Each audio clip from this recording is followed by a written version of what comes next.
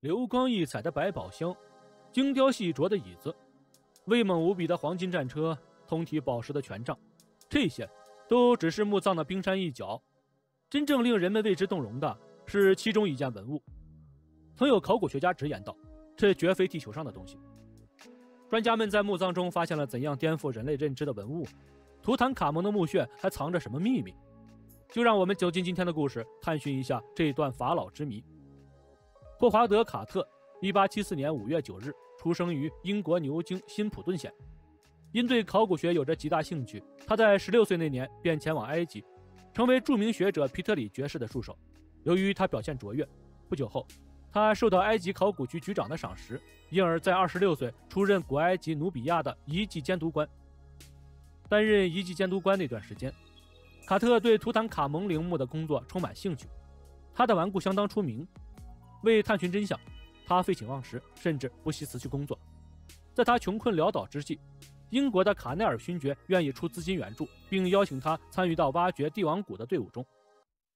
帝王谷顾名思义，就是埋葬古埃及历代帝王的所在地。因为盗墓贼活动频繁，早在学术研究前，大多数帝王陵墓就被挖掘一空。幸运的是。卡特此行的主要目标是图坦卡蒙陵墓。据资料记载，图坦卡蒙陵墓是帝王谷中最神秘的存在。三千多年里，图坦卡蒙从未被发现，更别提挖掘一事。不过，卡特不信这个邪，他开始收集大量资料，并绘制周边地图，是要在有生之年实现夙愿。就这样，一行人在帝王谷忙碌了五年时间。那段时间，身处英国的卡尔纳勋爵内心被消磨得一干二净。他直言道。倘若一年内找不到图坦卡蒙陵墓，会撤销所有援助。缺乏援助资金，别说挖掘陵墓，就连生活供给都会成问题。在这样的背景下，卡特不敢耽搁，他投入到夜以继日的研究，是要在接下来一年内找到图坦卡蒙陵墓。正所谓功夫不负有心人。一九二二年十一月四日，平日里送水的埃及男孩透露了一个至关重要的信息。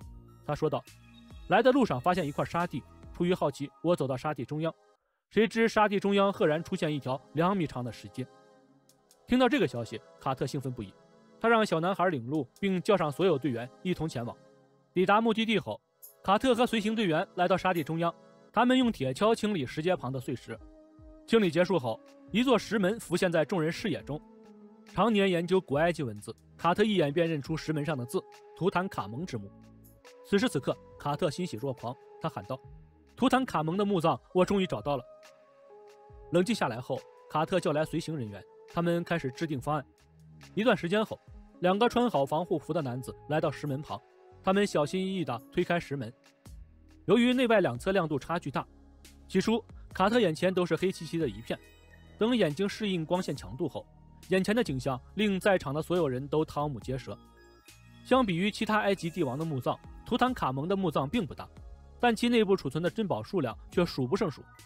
他们用探测仪检测了周围空气的质量，并使用各种方法确认墓葬内是否安全。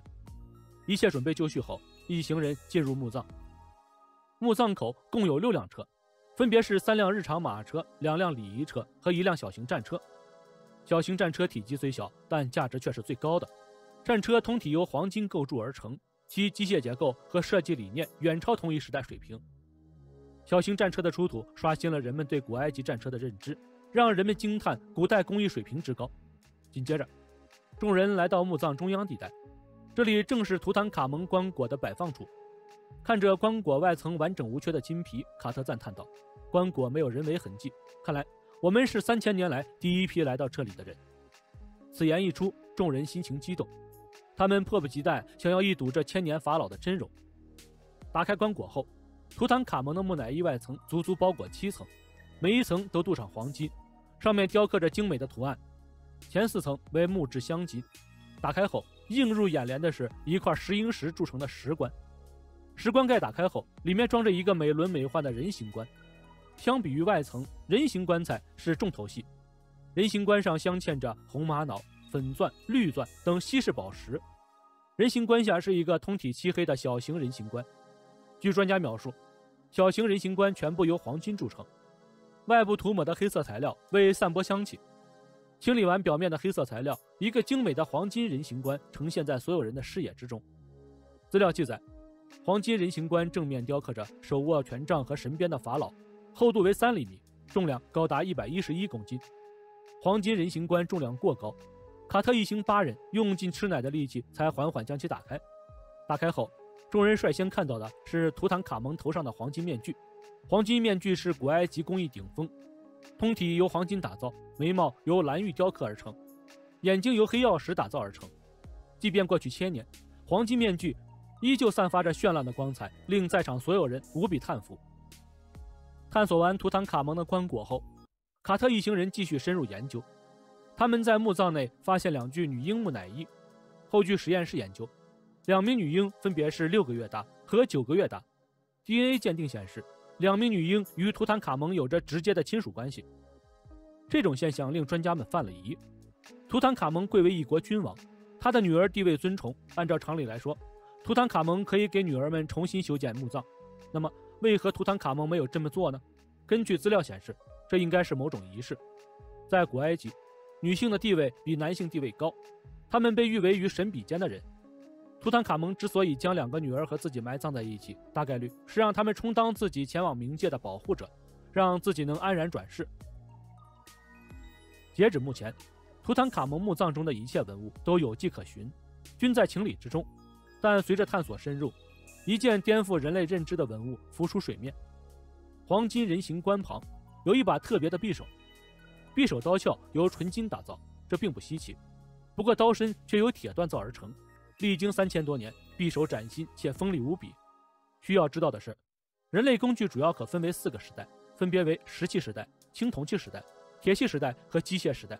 图坦卡蒙统治时期为公元前一千三百四十一年到公元前一千三百二十三年，隶属于青铜器时代。